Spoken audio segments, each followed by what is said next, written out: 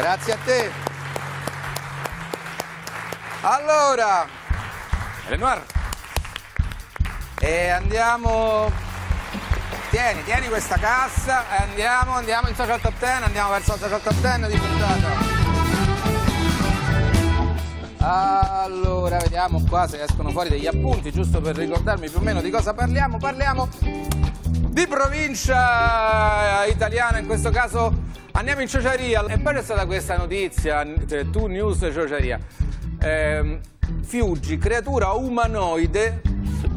Mo perché umanoide e non umana? Cioè, avvistata al lago di Canterno, quanto c'è di vero? Dopo la notizia la zona è stata perlustrata da un team di esperti del paranormale. Cioè, la cosa incredibile è che se vedono al lago uno pensano che sia una roba paranormale, umanoide.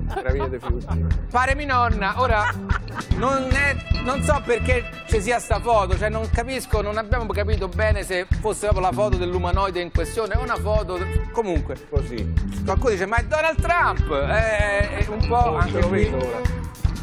Beh, il fatto che sia stato avvistato di sabato sera dopo le 22 direi che rende la cosa molto attendibile, cioè, diciamo uno, infiltrazione del Chardonnay nelle acque termali, ne abbiamo, abominevole ciociaro delle nevi di filettino, e qua appunto dopo l'avvistamento della creatura c'è stato un fiuggi fiuggi generale vabbè questo è proprio però però sono quelle cose che messa. funzionano andiamo avanti andiamo avanti andiamo avanti andiamo avanti, andiamo avanti.